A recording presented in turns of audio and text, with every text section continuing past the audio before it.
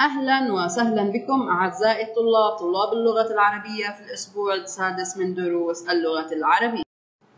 في هذا الأسبوع عزيزي الطالب ستتعرف على مفهوم الإثبات والنفي وأدوات الاستفهام وأيضا تميز اللام الشمسية من اللام القمرية. في هذا الأسبوع عزيزي الطالب آه، سوف تتعرف على أسلوب النفي آه، في اللغة العربية وتتعرف على أدوات النفي بأنواعها.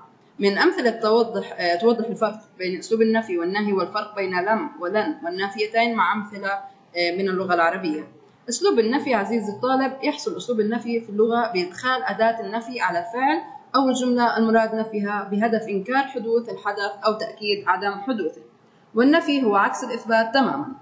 أدوات النفي في اللغة العربية هناك أدوات لنفي الأفعال والجمل الفعلية وأدوات لنفي الجمل الاسمية كذلك هناك أدوات نفي آه، تشترك في نفي الأفعال والأسماء. لم تدخل لم على الفعل المضارع فيصبح مجزوما ويتحول من الحاضر للماضي. إضافة لتوقع حدوث الفعل في المستقبل وهي تختص بالفعل المضارع إعرابه حرف نفي وجزم آه، وقلب لم يخرج أحدا حتى الآن. لما تختص آه، تختص لما بنفي الفعل المضارع إضافة إلى جزمه وتحويله. من الحاضر إلى المستقبل ويعرب لما حرف نفي جازم. مثال آه، لما يذهب أبي آه، المدينة. لا النافية تختص بنفي الفعل المضارع وتمتاز بكونها غير عاملة. هذا بالإضافة إلى كونها تدخل على الفعل المضارع مع عدم التأثير على علاماته الإعرابية ونجد أنها بذلك تشبه لا الناهية الجازمة ويكمن الفرق في العمل ومعنى آه، كلا منهما كلا منهما آه، ما تستخدم لنفي آه، كل من الفعل الماضي والمضارع على حد سواء. إضافة إلى كونها لا تؤثر في حركة الفعل والإعراب. إن النافية تكون عاملة تعمل عمل ليس أو غير عاملة مهملة لا تؤثر على ما يليها. بعد ذلك عزيزي الطالب ننتقل إلى أدوات الاستفهام في اللغة العربية. وهو أسلوب آه، لغوي آه، يقصد منه الاستفسار والتساؤل عن أمور وأشخاص وأشياء مبهمة يتطلب الإجابة عنها وينقسم إلى قسمين. الاستفهام المثبت وهو الذي يخلو من أحرف النفي آه، نحو هل ذهبت إلى المدرسة؟ أما الاستفهام المنفي فهو ما كان منفيا نحو أليس العلم نافعا؟ سنتحدث فيما يأتي عن عن أدوات الاستفهام. أدوات الاستفهام عزيزي الطالب وحروف الاستفهام هي هل وهل يتطلب آه، بها معرفة مضمون الجملة ويكون السائل جاهلا بالإجابة؟ مثال هل فهمت الدرس؟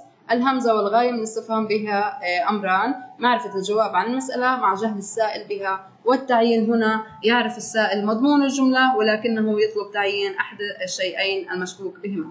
أسماء الاستفهام ويطلب بها التعيين وهي من اسم استفهام يستخدم للعاقل وهو مبني على السكون.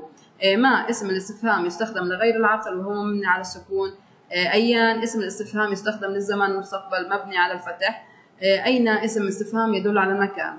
كيف اسم استفهام يستخدم لتعيين الحال كقولنا كيف حالك؟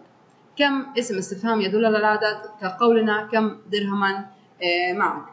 أي اسم استفهام يستخدم لتعيين التمييز كقولنا أي نوع من الفاكهة أكلت.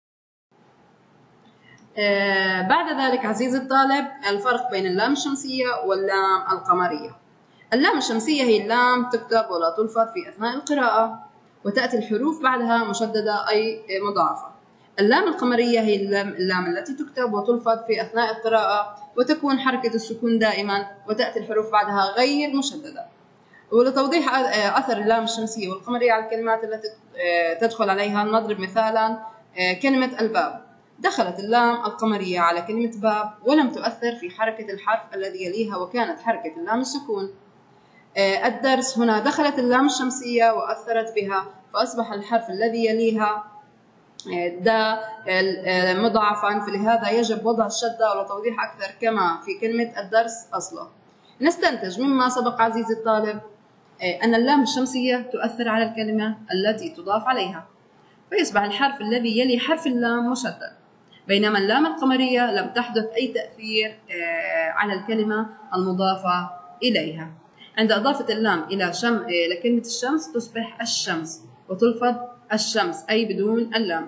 أي أن اللام لا تلفظ بينما عند إدخال اللام على آه، القمرية تلفظ وتكون حركتها السكون. وبناء عليه فإن الحروف التي لا تنطق بها اللام سميت بالحروف الشمسية في حين يطلق على الحروف التي تنطق بها اللام بالحروف القمرية شاكرة لكم أعزائي الطلاب حسن استماعكم وتعاونكم.